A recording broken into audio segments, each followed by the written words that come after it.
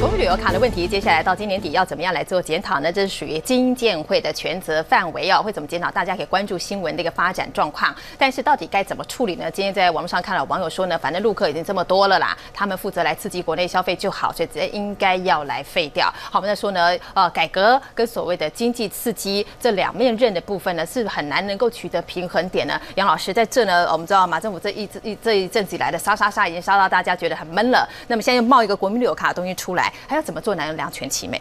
呃，我是不赞成把它废掉了。那我认为说政府现在可以。很公开，然后很正式的告诉这个公务人员，嗯，你使用这些国民旅游卡，你有什么样一些条件的限制？嗯，如果我说你违反了这些限制，你将来可能会被控以这个什么呃伪造文书啦，啊，甚至严重一点还可能涉及到这个贪污啦、侵占公款啦，什么等等。我想把把话讲清楚，然后就按照这个规则来做，我想会使得现在这这些被滥用的这种情况改善很多。然后一方面又可以使得这个公务人员能够保有他一个休息的这个权利。嗯哼，好，那一般人的心情呢。民进党说要改叫全呃国民旅游卡，就要全民都要有啊，这关一关其他族群什么事吗？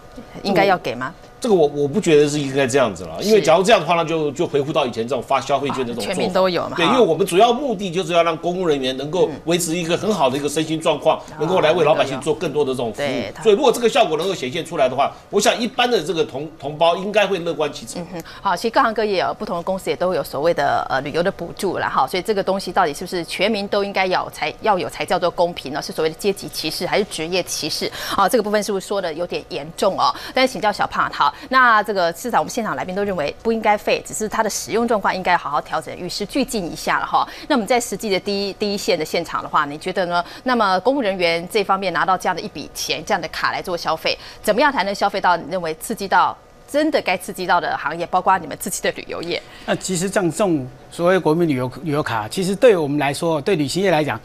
它是不是不多了？但是它引起的效益是很大的。你像一般像像一般的店家商家，假如说旅游景点的店家，好像花莲，嗯，你现在到处你到中正那个公正街上面去去你去看的时候，哎，几乎都是国民旅游卡的特约商店啊，很多啦，不像消美金对对对对，所以说它会有个这样，不是说像现在说你找旅游旅游消费那个签约签约的饭饭那个什么商店很少，没有。几乎他们会讲，哎，我这家这家有，我去消费，哎，甚至他们甚至说没有必要消费的东西，他们说，哎，我马后给干贝啦，买了一定会用得到。紧底的一下不被买，对，那可是那你看带动的带动的商机是不，是倍数成长的。你会发觉现在花莲观光不一样了，为什么陆客会去那边？花莲几乎花莲是必经之地。那你看看花莲现在现在的呃房，说我昨天从花莲回来。